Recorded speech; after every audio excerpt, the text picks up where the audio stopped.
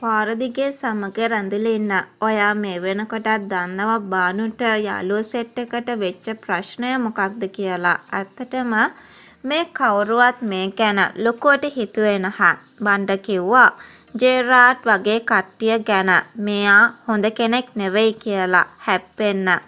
ඉතින් සල්ලි වලට ඕනෑම ජරා වැඩක් කරන්න මේ ජෙරාඩ් පෙළඹෙනවා. ඒක බණ්ඩ දැනන් ඉඳලා යාළුවන්ට උපදෙස් දුන්නත් මේ අයට ගානක් තිබුන් නැහැ. ඉතින් ඒ නිසයි සම්පූර්ණයෙන්ම මේ ප්‍රශ්නය ඇති වුනේ. ඉතින් දැන් අපි දැක්කා ඒ තමයි බානුව ඉස්පිරිතාලට අරන් යන්න කට්ටියත් එක්ක එනකොට ආන්‍යයා ආවා. ඉතින් ආන්‍යයාගේ කාර් එකේ තමයි බානුව අරන් යන්නේ.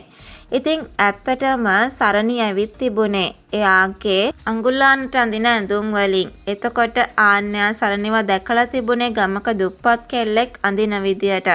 ඉතින් ඇත්තටම මේ ඇඳුම් ප්‍රශ්නය ආන්‍යයාට එන්න පුළුවන්. ඉතින් මේ ගැන අනිවාර්යයෙන්ම ආන්‍යයා සරණගෙන් අහන්නත් පුළුවන්. ඉතින් අපි දන්නවා ආන්‍යයාගේ ගති ස්වභාවය.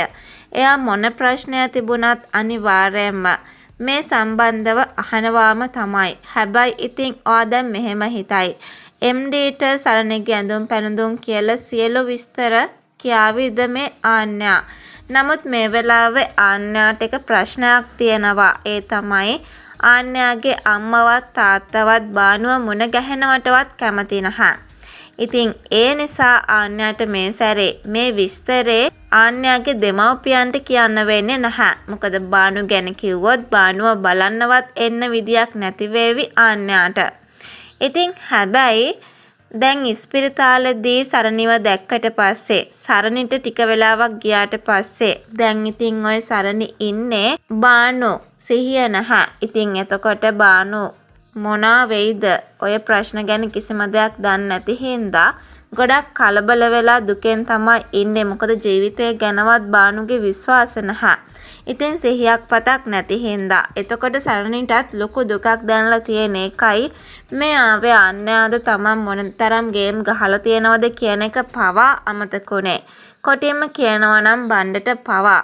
ඉතින් දැන් අනිවාර්යයෙන්ම පස්සේ බානු ඉස්පිරිතාලට බාර දීලා බානුට ටික ටික සුවය ලබමින් ඉන්න අවස්ථාවක අනිවාර්යයෙන්ම ඔය ආන්‍යයා අහන්න පුළුවන් සරණිත් එක්ක කතා කරන්න පුළුවන්. නමුත් ඒ වෙලාවට බණ්ඩගේ උපදෙස් පිට අනිවාර්යයෙන්ම සරණි වෙනත් කෙනෙක් විදියට හැසිරේවි. ඒ කියන්නේ ආන්‍යයාව අඳුරන්නේ නැති කෙනෙක් හැටියට. ඉතින් ඇත්තටම සරණිට නිවුන් සහෝදරියක් තවත් ඉන්නවා. එයා ඉන්නේ සරණිගෙන් ගොඩක් ඈත් වෙලා. ඔන්න ඔහොම දෙයක් පටලැව්වොත් එහෙම අනිවාර්යයෙන්ම බයක් වෙන්න කිසිම දෙයක් නැති වෙනවා. මොකද සරණිගේ ඇඳුනුයි ඒ වගේම මේ ඇඳන් ඉන්න දැන් ඇඳුනුයි වෙනස් නිසා ආන්‍යයාට හරි ඉක්මනින් ඒ දේ පැහැදිලි වේවි.